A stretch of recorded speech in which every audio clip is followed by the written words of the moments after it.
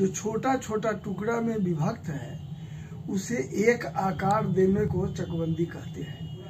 उस आकार, बड़ा आकार करने के लिए सबसे पहले गाँव का चीज़ है, गाँव की ज़मीन है तो गाँव के सलाहकार समिति से उस पर राय विचार लिया जाता है कि क्लासिफिकेशन ऑफ़ लैंड क्या है इस गाँव का।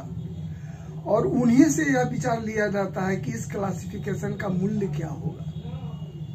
तो ये रेवेन्यू रिकॉर्ड से नहीं पता चलता है। अब कह रहे हैं रेवेन्यू रिकॉर्ड के आधार पर ही सर्वे के राइट्स ऑफ़ रिकॉर्ड जो तैयार है आरओआर सर्वे के जो आरओआर तैयार है हो गया है उस आरओआर को आगे बढ़ा देने पर सर्वे में ज़मीन के हु बहु शकल को नक्शा पर दर्शाकर कागज़ बना देने को सर्वे कहते हैं।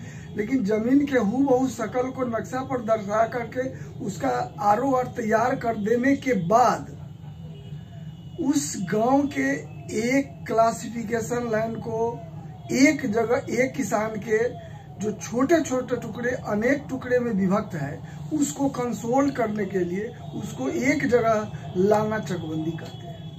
तो ये रेवेन्यू